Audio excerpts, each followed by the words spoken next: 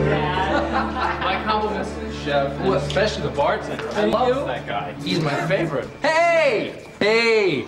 There's the little woman. I was going to ask where you've been, but that's obvious. Well, uh, it was my fault, uh, Amanda. I talked Peter into hanging out at the restaurant until closing. You know, Amanda, you shouldn't leave Peter on his own so much. Somebody might come along and steal him. I want you to stay away from my husband. Amanda, that's enough.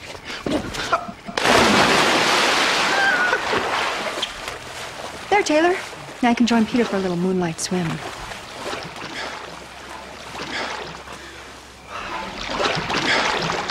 Oh, uh, no offense, man, but what is your wife's problem?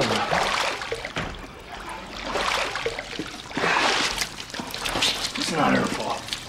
Oh, Peter, I'm sorry. It's all right, I'll be fine.